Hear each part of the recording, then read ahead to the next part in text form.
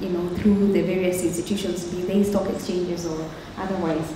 In India, Kenya, Nigeria, we have seen that the regulator is both performing the developmental aspect of developing the capital markets as well as also performing the, um, the regulatory role. I must say there are challenges that come with that because you're balancing competing interests um, and the regulator um, has to be careful because on one hand you don't want to stifle innovation, uh, you want to ensure that there is an innovative market environment.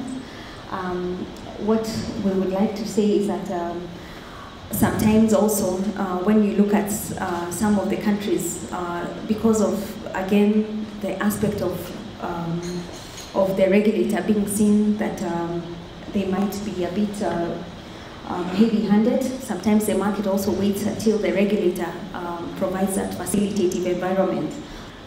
The more sophisticated a market is, of course, the riskier it is. We have seen that with the global crisis that occurred in 2008. Uh, but a clear regulatory framework is essential as it provides transparency.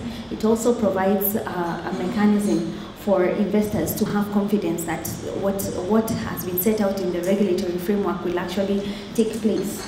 Um, so in one, on one hand, it also provides uh, confidence as well as protection to the investors. Uh, the mission is really to focus on a sustained and competitive capital markets where investors are able to raise capital um, and provide obviously an, um, a right framework for investment opportunities while also fulfilling our core mandate, which is really investor protection.